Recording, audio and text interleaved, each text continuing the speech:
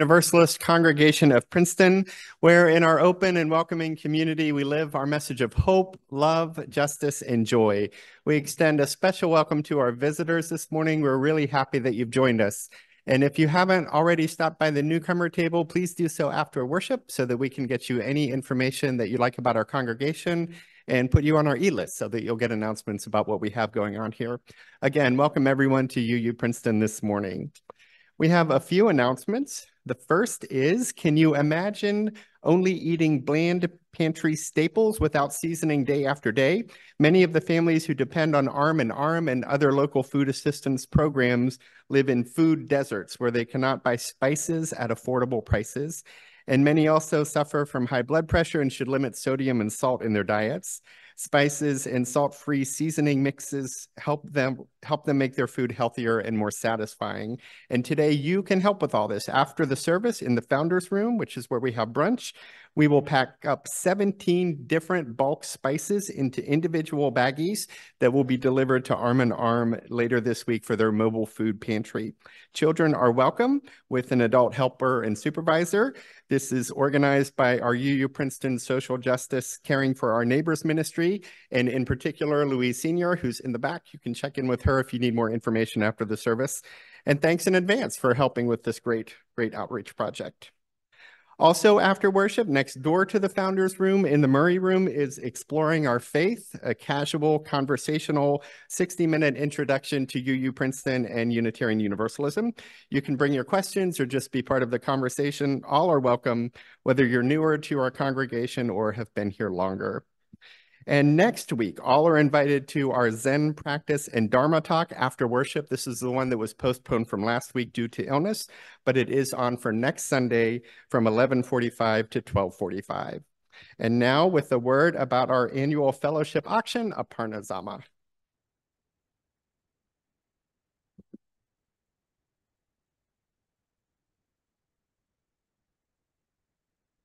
Good morning. So are there any fans of the show Golden Girls here? So I'm channeling Sophia Petrillo here. Picture this. it was 2020. It was a nice Saturday evening and everything was beautiful. It was right here in Channing. We had tables out. We had people walking around with plates full of delicious finger foods, desserts, a glass of wine or many, with some jazz music playing in the background. And then people were bidding on various auction items. That was basically setting up their entire social calendar for the year. And then the pandemic happened no more parties. We still had the auction online, but no more drinking in Channing. 2020 happened to be the last leap year. And here we are, four years later, another leap year. Only this time, the UUCP Fellowship Auction Committee is collaborating with the Celebrations uh, ministry, and we are going to bring the in-person kickoff party for the auction.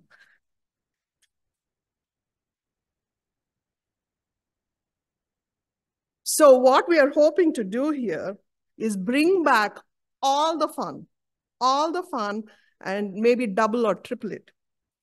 For those of you who are new to this because you joined us or maybe you didn't attend the previous ones, it's basically a fundraising opportunity. All the proceeds go to UUCP. And uh, this is also an opportunity where you get to bring your gifts to the community and share them. So when is it? This is on March 2nd, 5 o'clock. And if you're like, oh my, I have other plans, cancel them. Come to this one because this is going to be so much fun um, that why go anywhere else? So the one big thing that we're going to do differently this year is we're going to start off the kickoff with the kickoff party here. Um, and in fact, today is the day that you should turn in your uh, items, uh, your donation items. Uh, the link is on our website, or you can email Candice Hedberg. Um, what you could also do is take your time, maybe in a day or two, if you're just hearing about this, then think of things that you could offer to the auction and please uh, send the information to Candice. So we are going to have the kickoff party March 2nd, 5 o'clock here, but then we'll keep bidding till March 10th. So we're going to have best of both worlds, the fun at the beginning, and then we're going to finish up the auction on March 10th. Please remember, this is a major fundraiser for the fellowship. Um, also on that night, March 2nd, you can take away uh, lots of items. You don't have to wait till March 10th. So you, there'll be raffle baskets. You can talk to Meg Cox about them. Uh, there's going to be cheese, wine, chocolate, all kinds of baskets. There's going to be art that you can take away that night, so on and so forth. So there's a lot happening behind the scenes. Don't miss the action. So now I could say, what's the value proposition for anyone? So I want to talk to you about the Zamas value proposition. So as you may know us as Maya's parents, uh, but Farooq and I have been married close to 23 years now. He was raised Muslim, I was raised Hindu. And we thought we were a small, lonely tribe. And um, in this auction, uh, for the very first time, we offered something called the tiffin party because I like to cook and I like to make Indian snacks that my kids don't like to eat, but we like them. So I thought maybe, okay, we'll take a chance and we offered the tiffin party. And uh, the Nigams, now I'd seen the Nigams in church previously, but they really generously bid on our item and they came to visit us. That was the first time I had a full length conversation with Raj and Elaine. And then we discovered our tribe got bigger. They had a similar story from 40 years prior. And you have no idea when you discover that, wait a minute, there, there, there can be a successful story here. And we had such lovely conversations. And at the end, Raj said of that evening, he said, now we know you a little bit better. And I was like, yes. And that is the value proposition. When you come to the fellowship auction, that is how we get to know each other a little bit better because collectively we are all bringing our gifts, our time, our affection, and building out our tribe. So please cancel all other plans. Come here March 2nd, 5 o'clock. Thank you.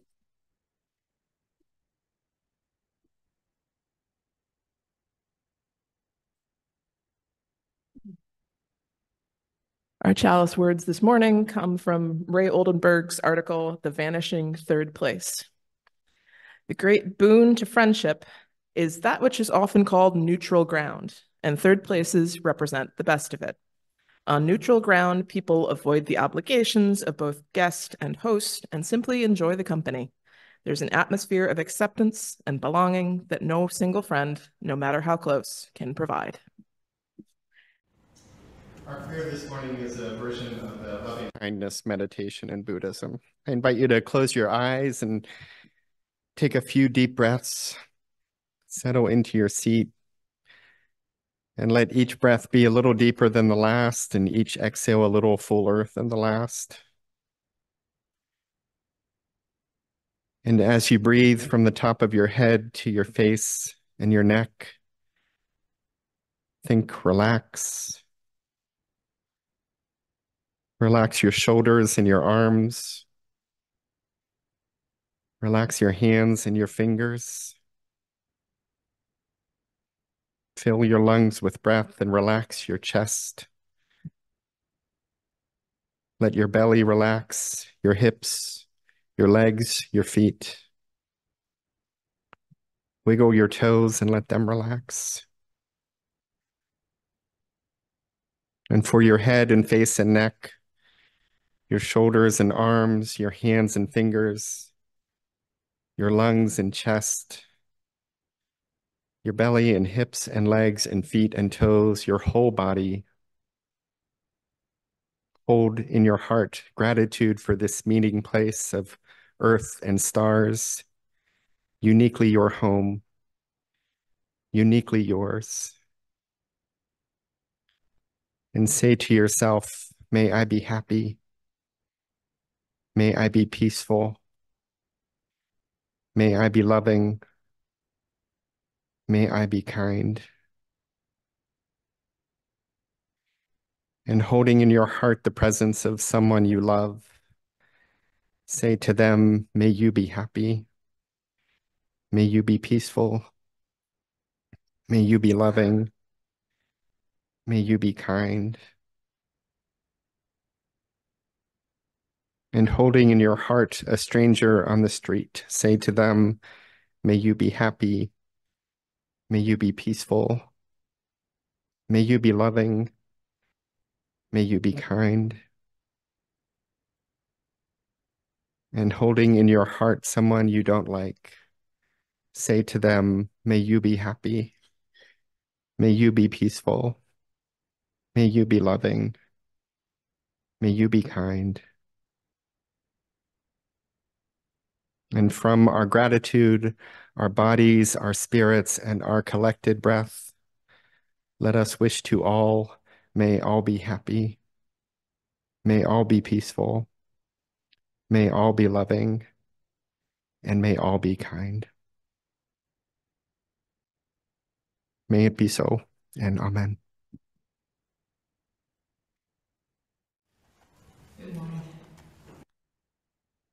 The internet leads to nothing but lust and discord. I can't take credit for those wise, sarcastic words. Uh, they belong to my friend Kristen Weber, a writer, a mother, and most particularly, a fan of the Boston Red Sox. Pausing here for boos. You can still see those words today on a picture dated August 2007, but probably taken about a year earlier, uh, autumn 2006, on a cold sidewalk somewhere in Brookline or Boston. But they apply only in the inverse to the community, community represented in those eight or nine people on that street corner and to the message board where we all met. The board called Surviving Grady, attached to a Red Sox fan blog of the same name, had been formed well before I joined that community in spring of 2004. I was simultaneously a returning Boston native and a Jersey college student transplant. We all watched games together, uh, together, posting online as we went from our respective houses. And then that moved to a bar in Kenmore Square, Crossroads, sadly now closed. And uh, even a few times together at Fenway Park. I can say definitively that there were several marriages, a few friendships, and maybe a few friendship breakups that led directly from this online group. As far as I know, it survives to this day, a testament to the power of shared community. Yes, the internet, as Kristen summed it up, has always had the reputation for souring all that is worst in humanity to a particularly rancid curdle. And the intervening 20 years haven't given many arguments to the contrary. But still, I have to say, the internet has, at various points, saved and may yet again save my life because surviving Grady was only my first adult experience on the internet of what sociologist Ray Oldenburg calls a third place. A place, as he said, where I could be a quote regular without being judged against a standard or an ideal person, at least as far as I knew. As a weird kid with a capital W, like Weird Barbie, it was always hard making friends at school out of, outside of structured activities like music or theater. I loved talking about some very specific things way too much and cared not enough to talk about others. Too many times going up to someone new at recess or lunch and getting a disgusted look when you try to start a conversation can really wean you of the desire. However, at age 13 or 14, something amazing happened. We got home internet, later than some, earlier than others.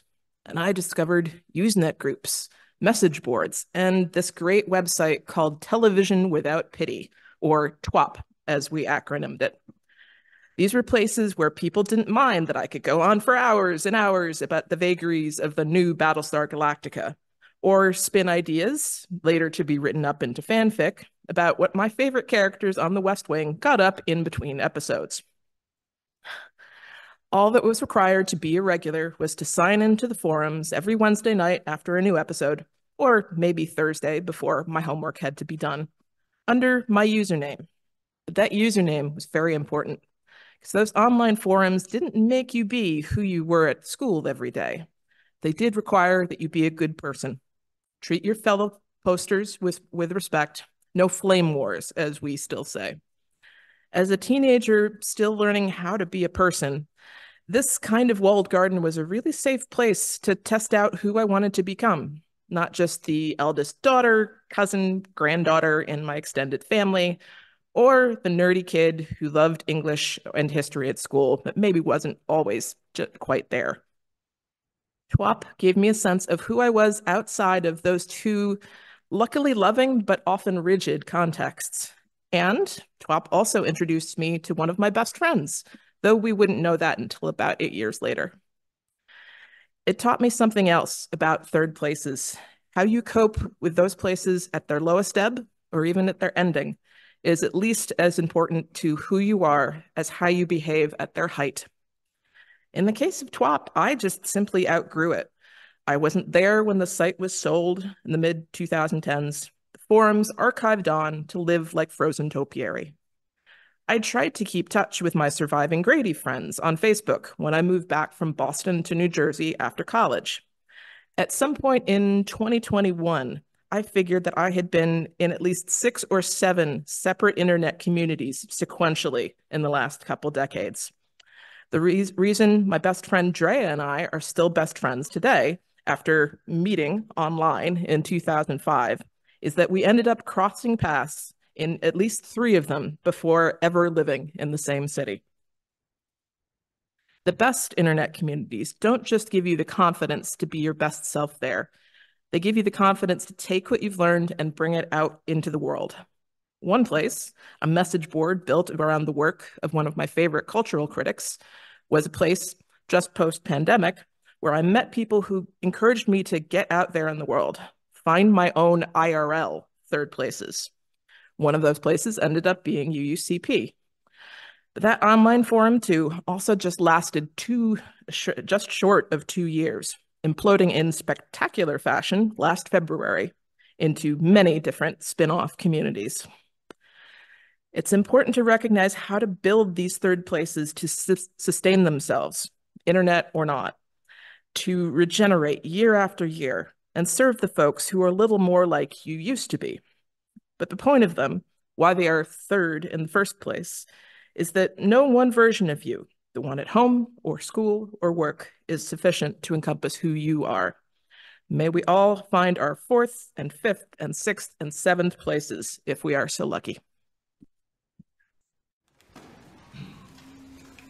Well, speaking of friends and of Boston, several years ago, I was in Boston attending a multi day church seminar we were quite busy during the daytime, but quite free in the evening. So one night, a few of us decided to do a very touristy thing and visit the bar that was visually the setting for the TV show Cheers.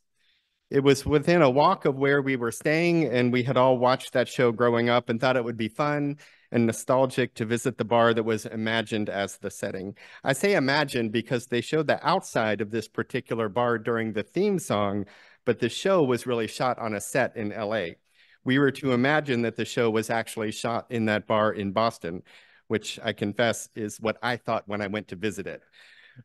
I thought we were visiting the bar where they actually made the show. No, we were just visiting the outside of the bar in which we were to imagine the show being filmed. I'm not going to lie, I was a little let down by that. But it was still fun to be out and about with friends new and old on a beautiful Boston night.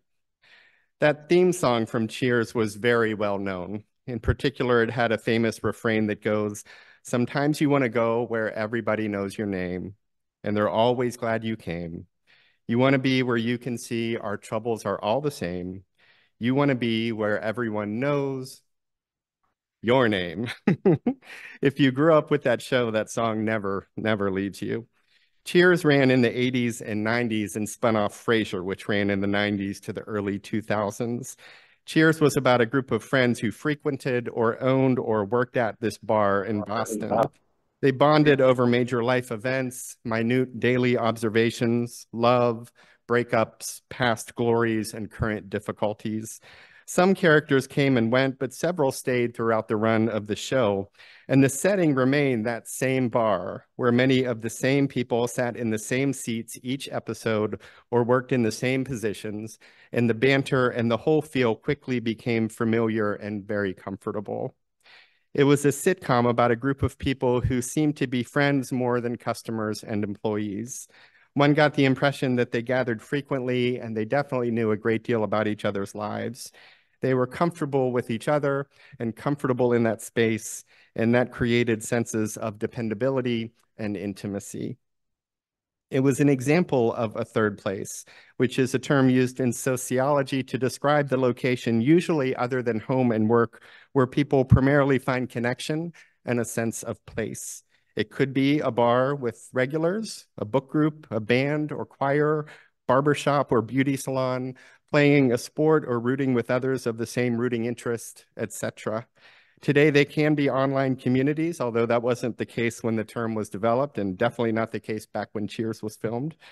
And of course, a very common third place in much of the literature is a religious community, a church or synagogue or mosque or congregation of some shared faith where people gather and grow in community together. Ray Oldenburg, the sociologist that Emma mentioned earlier, developed a bunch of characteristics that third places share. Some of them are that they occur on neutral ground where there is some sort of leveling of status. There can be different roles, but socioeconomic or educational status really shouldn't matter, certainly not as much as it does in other aspects of life. Third places should feel cozy and kind of playful in the sense that much of the community building is casual and conversational. The flow is more spiral than linear. People circle around memories and stories, retelling them again and again, and often adding to them over time. Though the group may be committed to a big goal or a singular purpose, the process of reaching for that goal and purpose remains rooted in friendship, which brings the joy. Conversation is the main activity of a third place, even if the gathering itself is around microbrewing or getting your hair done or playing a game or planning a concert. Conversation is the main component of that third place. And among a few other characteristics that Oldenburg delineates is the idea that the third place feels like a home away from home. That doesn't mean that it feels like home. There's only one of those. And if the third place were home, it wouldn't be a third place, it would be the first one. But it has a home like feeling, a place where you are known, can know others, and can experience a kind of familiar, cozy joy, even when in pursuit of a dream or a goal. This adds a sense of place and support in life, especially when the third place accents a healthy and affirming first place with appropriate maturity and boundaries.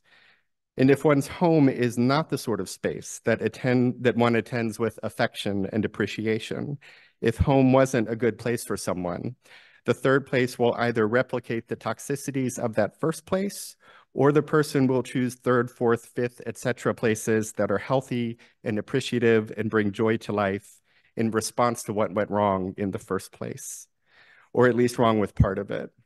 If a kid grows up in a home where they are harshly judged for this or that or expected to succeed at all costs, they may early on seek third places that replicate those harmful senses, only to turn from them later on and seek or sometimes build third places that create the first place that they wish they had growing up. They become wounded healers in a way, using third places to fill voids left by their first one. But the process of getting there can be really difficult. This help ex helps explain why people sometimes join destructive third places and stay there because it may be what they know best. And it helps explain why some eventually leave those destructive places so that they're not replicating wounding, wounding, but are instead creating healing places. This happens in religious communities all the time. People raised in harsh and judgmental religious communities may become adults who lead them, or they may become adults who leave them and never return.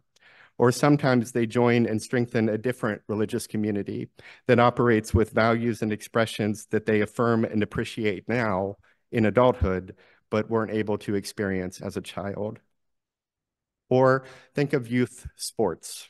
I once watched a grown adult Little League baseball coach of second and third graders get tossed from a game because he threw a fit at the umpire. His player had been called out on strikes, and he launched into this ump, who himself was all of 18 or 19 years old, as though this call had cost him the World Series. And when the ump rightfully booted him, he refused to leave until some of the parents left the stands to sort of shepherd him toward the parking lot, away from the kids who were witnessing exactly how not to behave. I didn't know the coach, but I wouldn't be shocked if he was replicating, perhaps in an enhanced way, but still modeling behavior he witnessed in his first place, or at school with a coach, his second place, perhaps. And I can only hope. In fact, I faithfully believe that sooner or later he'll turn from that behavior and become the coach the kids need, encouraging, reasoned, flexible, and focused on having fun and team building. I believe he'll be that coach and provide that, that good third place to kids someday if he isn't doing so already, but he has to drop some baggage from another place to get there. It's because of all this, I think that third places are best thought of as Venn diagrams where the circles overlap other than, rather than lists of one, two, and three. The circles aren't the same size and aren't drawn at the same time, and sometimes they change, and there are often way more than three, but they all intersect somewhere. Each highlights a strength or answers a weakness of another. All our places are interconnected in some or many ways, and understanding those connections can bring insight to what each offers and teaches us. And they can help us offer those places to others who seek joy, healing, and a safe place. Our congregation, as a third place, offers friendship and healing and purpose. We gather to bless one another and our neighbors and the stranger, and we do so primarily through our relationships. We grow and work together as we enliven common acts of compassion and service in the world. The spiritual diversity, oops, we're there? we lose it? Let me get the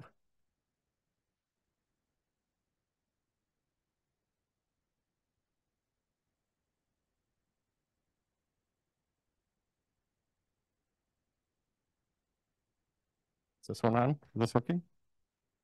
Let's try this one. Judy, can you give a look?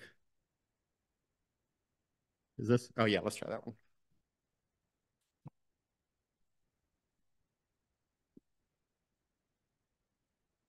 Test, test, test. Test, test. Oh. Test. Test, test. Okay, thank you. Thank you. Thank you, Doug. I didn't see you back there. Thank you for fixing that for us. All right. Where were we? The spiritual diversity that we embrace is for some a reflection of long held values expressed in other circles of life. For some, it counters a stricter sense of one orthodoxy or another that disallowed different understandings and opinions. Our progressive religious take on this and that and everything for some meets long-held sensibilities. For other, it is a welcome change from more conservative religious beliefs that judges the sorts of things we embrace. Our multi-generational ministries reflect for some an upbringing that was even more multi-generational than ours is. For others, it answers a wish for kids and grown-ups to know and bless each other. And all of this is relational, built by and through our relationships with one another. Oldenburg, who passed away in 2022, would call this the conversational part of third places. But the conversations here build relationships, which is what many people crave, and they're what power everything we do. We have this desire to know and to be known in joy and in deepening and widening circles of friendship. There is this human instinct to not go it alone, at least not all the time, but to instead be included in communities of like mind, like heart, and like interest. We want to grow together, to not be alone or lonely, but to be connected with larger life. We don't All want the connections at the same level or with the same intensity, but many and many of us need our time alone to decompress, to think, and to recharge. But just as Thoreau left his solitary stretch in a celebrated cabin where he lived deeply and sucked the marrow out of life, or tried to, to rejoin various circles of life, so too do we, who need time by ourselves, also crave time among others and the relationships that bring us a sense of place and joy. The pagan writer Starhawk speaks to this when she writes, We are all longing to go home to some place we have never been, a place half remembered and half envisioned, we can only catch glimpses of from time to time. Community. She continues, somewhere there are people to whom we can speak with passion without having the words catch in our throats. Somewhere a circle of hands will open to receive us. Eyes will light up as we enter. Voices will celebrate with us whenever we come into our own power. And she concludes, community means strength that joins our strength to do the work that must be done. Arms to hold us when we falter, a circle of healing, a circle of friends, somewhere where we can be free. She speaks of eyes lighting up when we enter. And we know that feeling of seeing someone enter a room and being filled with joy just because they're there. But we don't always know that we've brought that same feeling to other people as well. We have all caused eyes to light up in joy. We have all just with our presence filled hearts in a room with love and kindness. We have all been that blessing, but we don't all know it because we don't say it. You just can't move around a lot because the skin. That's why you can't we do should. it. For we are a faith of words, It's still red. faith of many, many words. You know, Oldenburg would look at us and say that we have Oh, that it's not gonna conversation happen. thing down. And he'd Yeah. probably say that we're good at being joyful too. But we should use those blessings to appreciate each other more often and not on the inside, outwardly with Yeah, but you words. had it- You had We can let people know that we light up when they're here, or even just that we're happy that they're here, that our day is better for the few moments that we have together. And that might be the only time the person you're conversing with hears it, that week, that month, that year, in years. You told me. That affirmation is too powerful to keep within, and we should share it whenever we can. And if we practice that here, we'll do it more in the larger world too. We'll spread those Would you like me to make affirmations far and wide, going from circle to circle to circle, first, second, third, a hundredth places, I'm sorry. bringing to life more I can make it relationships in which people feel valued and good and embraced. Want a Our faith, No. which we a nice build and grow together, will, res- will spread beyond these walls and become Well, known in the joy and affirmation that it creates in every nice. single place. Okay. That visit to the Cheers bar was not quite what I had hyped it up to be. Nobody said my name when I walked in. I was just a customer, one of countless customers over the years. At one point, that bar was the third most popular tourist attraction in Boston, which, if you think about everything that is in Boston, could be a little depressing. maybe I should But then again, with an evening free, that's exactly where I went. But even though there was no Sam or Diane or Coach or Carla or Norm or Cliff, I still had a beverage and some bar food and shared some good time with oh, oh, new friends and old friends. still, it's quite red. And then we walked back to where we were staying, and one of my closest friends broke out some board games that he had brought with him. I'm not a big board game guy, but I can play along if someone else leads. And we stayed up late into the night playing, laughing, eating junk food, and taking our turns. I deepened some old friendships. I made some new ones. There was peace and joy. And by the end of our time in that small circle, indeed, everyone knew my name. May we create those places here so that we can help create them everywhere, so that everyone can feel known and appreciated and understood in this world. For when that happens, all places become peaceful, all places become just, and all places become loving. May it be so, and amen.